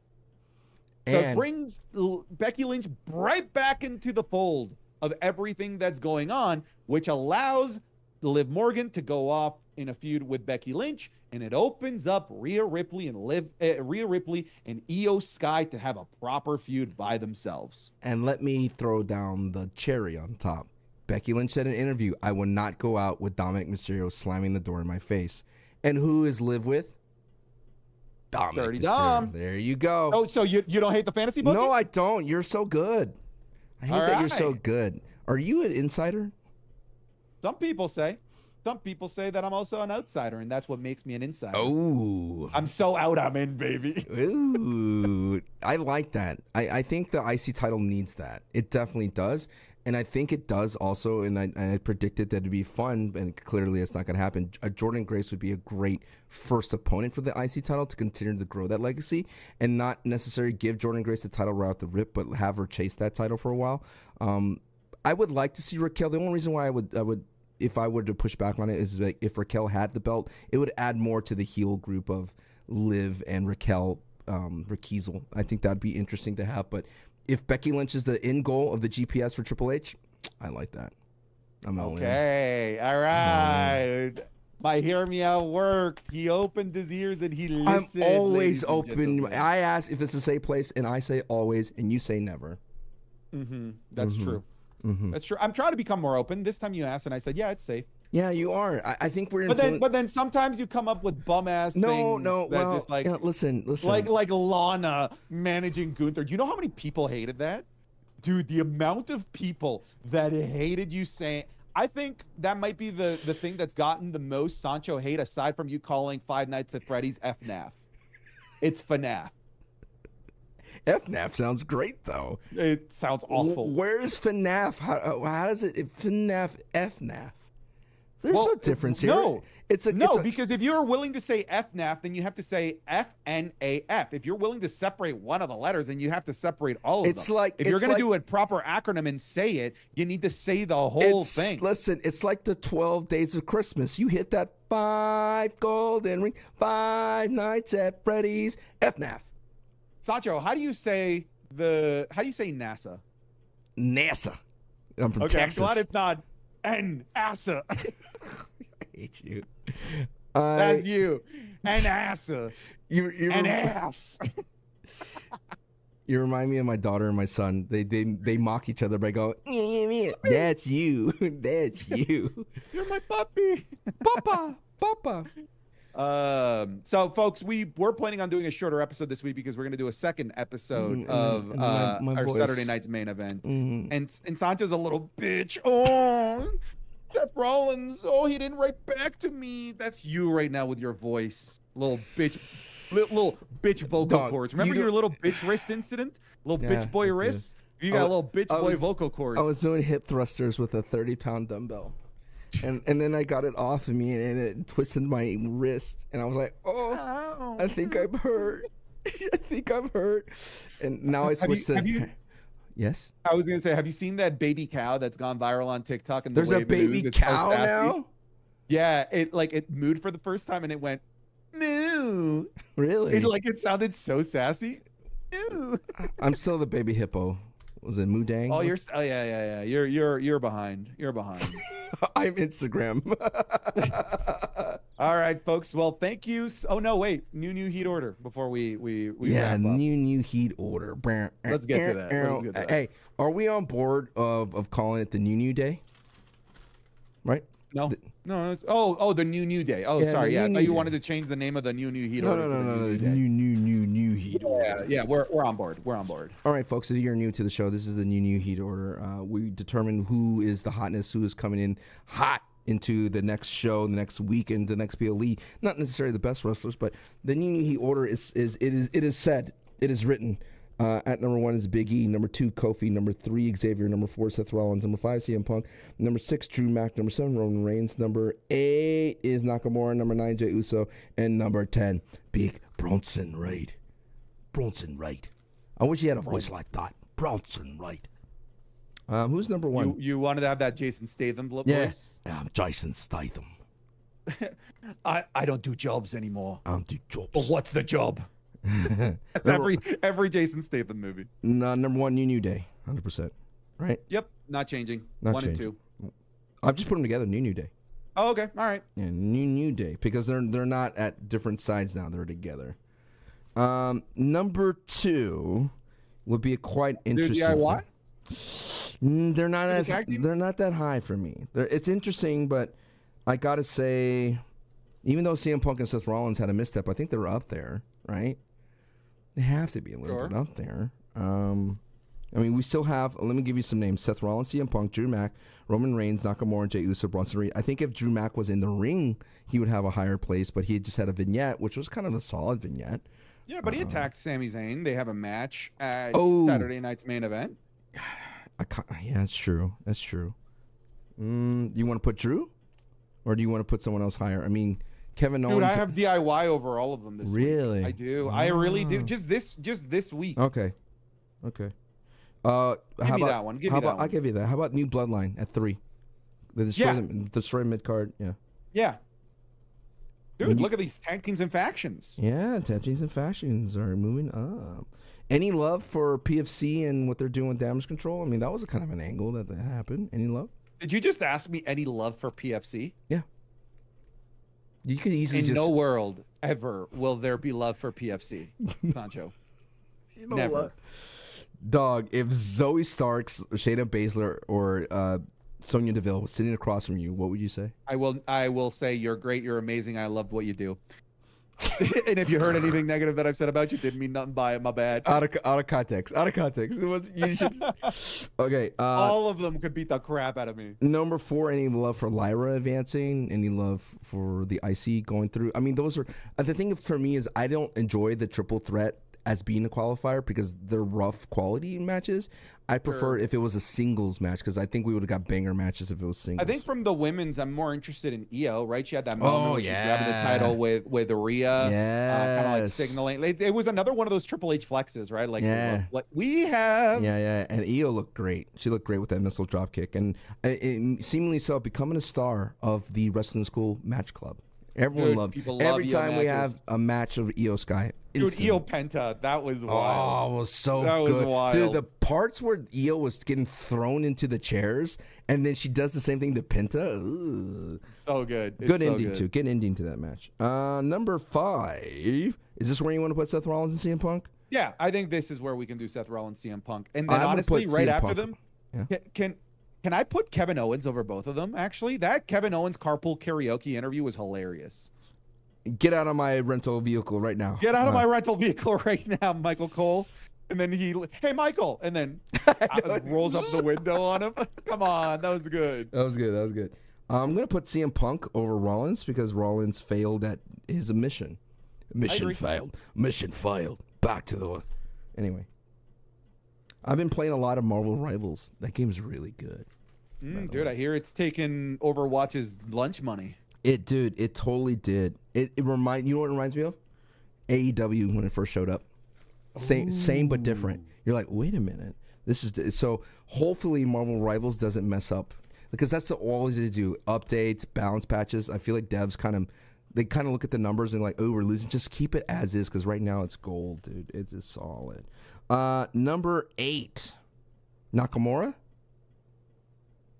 Nakamura. Nakamura. Yeah. Maybe Uh, Dirty yeah, you know, Dom. Maybe Finn Balor. No, Finn- any love for Finn Balor, sir? Any love for Finn None. Balor? I what? have none. I have none. It's not doing it for me, brother. That feud doesn't is not working for me at No all. No love for Damian for standing tall. None. Wow. Wow. Wow. Wow. Okay, then uh, we have Roman, we have Drew Mack, we have Jey Uso, and we have Bronson Reed. And those are the ones that were left from the previous. And of course, Big E's out. So Hmm. Trying to think here. Any love for Tiffany winning her triple threat match? that match wasn't that great, though. That's what I mean. I agree. Uh, Rhea? Any love for Rhea? Yeah, I, I have more love for Rhea than I do Okay. what's going on with uh, Finn, Damian, and, and Gunther. I feel like uh, Rhea Ripley looked great in that match, and the thing about it is, it was cool to see anything goes. It kind of felt different to see the women going out in the crowd, right? Kind of little felt a little. sure, I agree. Any love for Liv Morgan, sir? I do. I think Okay. Liv Morgan should be on this list too. Yeah, let's put Liv Morgan on there. Okay, we have Great one. match with Dakota Kai. Good angle there to end the show. We have one spot left for the new new healer. Here's the update for the people like we can't keep up with it. Again, very expensive graphics. Very. Okay. All right. Number 10. We could Sami put Drew- Zayn. Uh, Dude, he's he's getting back to the high horse for a second. I there. know, dude. You're better than that, Seth. You're better than that. Okay, put Drew McIntyre here. All right. All right. With peace and love, Sami. You kind of you kind of dipped into this, and again, I think there's multiple times that WWE's guilty of this. They do te- they do testing grounds. Yes. Drew McIntyre or Chad Gable? I'm leaning towards Chad. Because this was such a big catapult up for Chad and not a really big move needle mover week for Drew. but he didn't come out. Okay, here's my thing. Two things quickly. Piper Niven and Bianca Belair, right? I, I Great feel match. great match, and I feel that when we talked about the nerfing of Triple H uh, with his baby faces, this was a great opportunity to make Piper look strong. I wish Piper was the reason why Bianca hurt her ribs. Like, give her that power. Give the heel the reason why they are having issues. Give Piper working that rib, not because it's a vulnerable spot. Make Piper the one that's the cause of that. Same thing here with Chad and Cody. I wish it was Chad that stomped on this foot. I wish it was Chad that went in there and did the damage versus Kevin Owens coming in and doing the thing because I understand they needed Kevin Owens to pull the trigger, something he didn't refuse to do. But that's my thing. I feel like Kevin Owens coming in doing the dirty work kind of took Chad's opportunity to be that heel. Okay. I mean, I, uh, okay. Let's put Drew then. I, I'm I'm not married to it having to be Chad. No, I, I feel like with You Drew, you gave me DIY. You gave me DIY. yeah I gave to but I feel like the reason why I like Drew Mack is because like dude he's he's coming after everybody. He's I, he, I'm I'm good with that. he feels like the WWE Punisher. Ooh, Frank Castle. Mm. Mm. Mm. Frank here- Clash at the Castle. Uh, right. Yeah. Here, here's the new. Oh. Here's the new new heat order. The new new day DIY. The I don't know what's happening to Sunday. Uh, the new uh, bloodline: Iyo Sky, uh, Kevin Owens, CM Punk, Seth Rollins, Rhea Ripley, Liv Morgan, and Drew Mack. I could have put Nakamura at ten. I feel like it's like ten soft today. You know. Yeah, it's a, it was a soft one. Yeah, it's a softball. Um, so folks, there is going to be a bonus episode here of the Wrestling is Cool podcast. Why this one was a little bit shorter. We're going to do our Saturday night's main event predictions because out of nowhere, this two-hour TV show with commercials has five matches, and we're going to be talking about all of them. Thank you very much for listening to this episode of the Wrestling is Cool podcast. Again, you could have listened to this episode three days earlier than everywhere else on the planet over on patreon.com slash SantiZap. And not only could you be getting all this stuff early? You could be uh, one of our producers here, like many of the people that pledge at the $15 tier who are the producers of the show. The extra special thank you goes out to Sancho Mania Running Wild, FU Santi, I'm First Nick Harvey, 2022 Benjamin, Aaron Garcia, uh, Ak- Aki is gone or Akai is gone, Alejandro, Alex Rigel, Alex, Alan Crockett, Anita Maxwin. Uh, geez, man, I need to make this bigger. I got no eyes. There we go. That's so much better. Uh, Anita Maxwin, Anthony uh, Ariyoshi, Ashley Reynold, Sperlitz, Ozzy Kingslayer, Austin Baker, Austin Gregory, Austin Theories Theorist, RIP MatPat, Authentic Chocolate, Bailey Fuller, Bailey Saunders, Batsy, Ben Calloway, Ben Farton, Barry, B Hostile, Big Poppy Sasquatch. Are you really laughing at Ben Farton? Really? Grow up. Big Shy, Blast Pass, Blue Bot, Bluefish, Bob Feason, Brady Keaton, Brandon, Brian Ibarra, Bry Guy, Bryce Bird, Bunker Jonesy loves WWE, Caleb Lee, Callus Kavon, Callum Smart, Cameron Dodd, Cameron Noel, Captain Geek, uh, and the Shrimp Shack Shooters. Oh, dude, that's a great Carlos- reference to um, the Wonders. Oh, okay. Or well, that, is. that thing you do, that thing you do. You never seen it, Tom Hanks? Nope. Oh, you need to watch that. Look, look, please watch that movie with with your significant one. Doubt it. Uh, Carlos Gonzalez, uh, CB, change my name because Santi can't say Dutch words. Cheese balls rules. Chew poppy. Chimchar collectibles. Chris Harris, Christian, Christian Billick, Christian G, Christian Ormsby, Christopher Butner Lucas, CM Puff, Colin Roach, Connor Williamson, Daniel Who, Dar, uh, Dark Flame, Detroit Made Benjamin, DJ Broadnax, Dorian Best, Drew Bo- Bum- Baumgarn, uh, Dumsky, Dyer Hellfire, Dylan, Dylan Kana, El Jochi, uh, Emmanuel Holmes, Eric uh, Welna, uh, Aaron, I can't read today, bro. Aaron Thorne, Isatch, Mike Oxsmall. God, you're an idiot. Um, Fletcher Walpole, Floating Forever Wrestling, Franklin L. Everett, Gabe Mares, Gamerscape, George Valdez, Gilbert Deans, Goofy Goober, DXA Man, Heartfelt, uh, Hoodie Cam, I Miss Jericho, Issa David, It's Mista, Jack, Jack Baker, Jack Gibley, Jackson, Jacob Pena, Jacob Staffel, Jaden, Jada, uh, Jacob Chavoya, no, just Jake Chavoya, uh, James Brian Balago, Jason the uh, Jason the Sella, Jassim Alcazar, Javier Rodriguez, Jalen Steele, Jeremiah, Jesse Gibbons, Jesse Jahihi, Ahihi, uh, Joe Velez, Joey. Joey Roving, Jolly Green Giant, Jordan Lynch, uh, uh, Jordan Marte, Josby, Jess, uh, Jose Santi's cousin, Joseph Pointer, Josh Sutton, JR, Juan Verdusco, Judson Daniels. Lots of J's, dude. Juicy, Justin Perkins, Caden Rivers, Caden Burgess, Ken Dean, Kasuz, Kawadi Rick Boogs, Kyrie Lawrence, Lo Shifu, Luke Parker, Luke Sika, Manly Man, Manny IDK, Marnie YCSM, Matthew Dollar, Dollar, Dollar, Dollar is all I need. Matthew, uh, Matthew Watkins, Max Dupree, uh, Meki, Michael Purnell, Michael W. Yee, Miguel Paredes, Mitchell Harris, Mitchell X, Muhammad Albanai, Monte Moore, uh, not Mr. Filter, Nathan, Nathaniel Stevenson, Neb, page four, Sancho. Yes. Nellen Zach, Nicholas Kyle, Obi Nobi, Osama Awad, Pat R, Pat McMark, Tim Call, Brody, Unk Fan, Puppet Master Johnson, Raphael, uh, Raw Daddy, Ra- Rari, Rawiri Sinclair, Reaper God, Ricky Dutcher, RIP Matt Pat, RIP, uh, Robert Rogers, Rocky B. Uh, by the way, I'm so happy that uh, the the RIP Matt Pat is finally sti- it's finally creating something. Royce Ruffo, Riley, Sancho wants the Xavier Wood. ah, got you good, Sancho. Santi is a bandwagon for these trains. Lamau. Santi looks like the Wish version of Serj Tankian. Santi makes me chum. Santi, Santi, Santi, Sancho Santi. Santi Stinkface, Saudi Rick Boog, Screamo Scott, Semba, Seth, Shaggy WWE, Shane, Shawn Michaels, Right Nostril, Sip God, Sir Nightmare, Skyler, uh, Slim, worst character in Breaking Bad, by the way, Skyler, she sucks. Slimsky, Slow oh, I'm Toe- sorry. Someone whose life got ripped from her or in front of her. You want her to be on Didn't board. didn't back her husband. Didn't back you her husband. You want her to be on Bad- board for her husband for doing illegal activities with Did the it for the family. Did it for The Rock. He did it for himself. Bro, if, if if Sarah did this, I'd be like, He- babe, what do I do? He could have got to help? out earlier and just done it to just get it, but no, he wanted more. Wow. She sucks. Uh, Smooth, Solo, I love you.